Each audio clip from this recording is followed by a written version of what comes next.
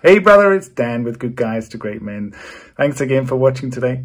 I wanted to talk a little bit about midlife today. Midlife. Why do I want to talk about midlife? Because there's this point in life, and Brené Brown describes it like this. I've got it up in front of me. No one explains that when you hit midlife, there's an urgent drive to live the life you want to live, not the one you're supposed to live right? And so we speak to guys who are currently dealing with something that has changed, so something that is changing. And in particular, it's their relationship that's mostly changing.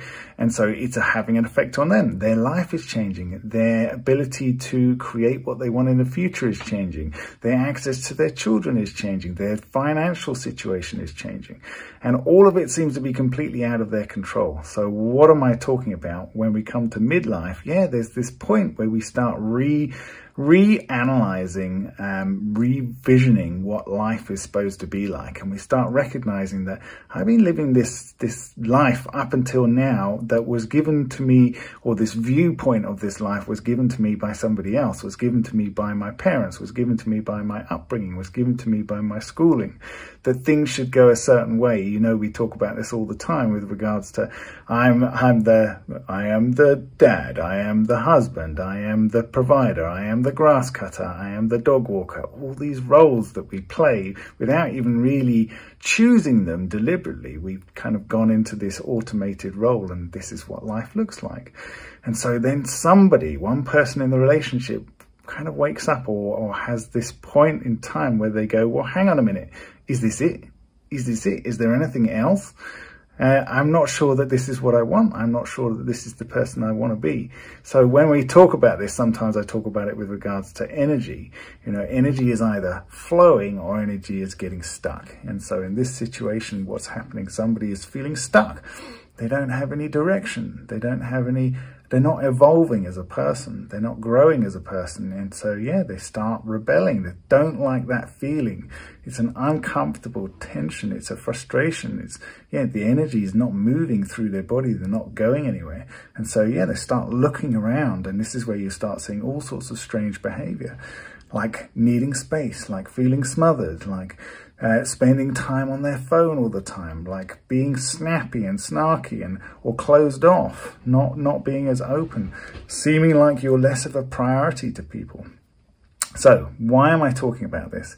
Because I want you to recognize that these are signs, these signs that the other person, the other person is exhibiting in your relationship. These are signs you should be paying attention to. But where we normally go wrong is, oh, these signs are signs that I need to grab on tighter, signs that I need to put in boundaries and control the situation and get it back to where it should be as it was before. And I want you to look at those signs and go, huh, what if these are signs that I should be paying attention to for me?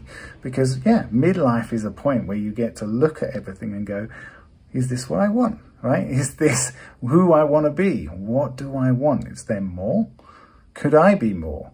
Is this career what I want? So many people that we speak to, they're in a situation where they're just going through the motions. I've got to this point in my career, I'm earning decent money, I've got a decent house, and I'm kind of numb. I don't really have any enthusiasm and motivation, and I'm not going anywhere. And yeah, I could carry on up the ladder, but pff, it's for what? right? There's nothing really fulfilling. There's nothing really juicy in it for them. And so this is what I want you to start thinking about for you. The questions that you ask of the other person, why are you doing this? Why are you behaving like that? Aren't we important? What, what about the kids? All this stuff. You should be asking that about yourself. Why am I doing this? What do I want? Is there more? What do you want? This is where we start with most guys. What do you want? And most of us talk about the things that we don't want rather than being able to go, here's what I want. I want more inspiration. I want more motivation. I want more enthusiasm. I want more passion. I want more fun. I want more laughter. I want more engagement in all the different areas of my life. Okay, so that sounds good. What does that look like? What does it look like? Do you even know? Have you got a plan? And I'm not talking about a plan to achieve certain goals because as humans, yes, we do really enjoy having a goal. But the problem is, if it's just a goal to achieve that goal, when you get there, now you've got to find something else or life starts becoming dull and boring. There needs to be something underlying that direction.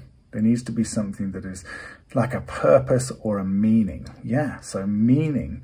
What does give you meaning? When you start getting a good grasp of meaning for you, what does what does meaning in life mean for you? What it would mean for you to grow and evolve as a human, as a man? Right? What would that look like? And that can be in all different areas. I know I talk about this all the time you know, with your kids, what would it mean to you to create a specific relationship path with each of your kids?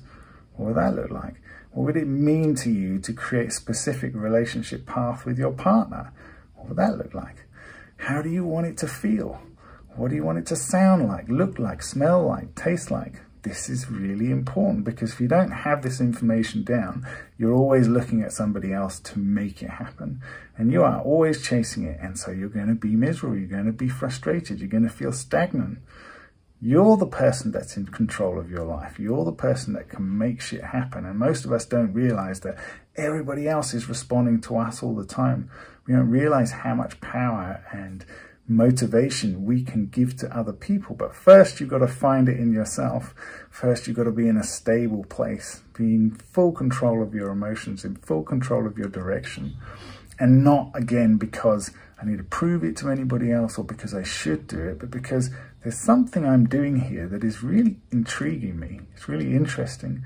And it's making me want to learn more. It's making me want to grow more. It's making me want to find out more and investigate more. It's, it's, it's curious. So I want you to be curious about where your life is going and who you're becoming as a man. And that is what I love to do and what Steve loves to do when we talk to guys is to really get into that. Who are you? Like, who are you? Who do you want to become? What does that mean for you? Most of us don't know, and it's a really interesting and fun process to find it out. Okay, that's it for today. Take care, bye, guys. Bye.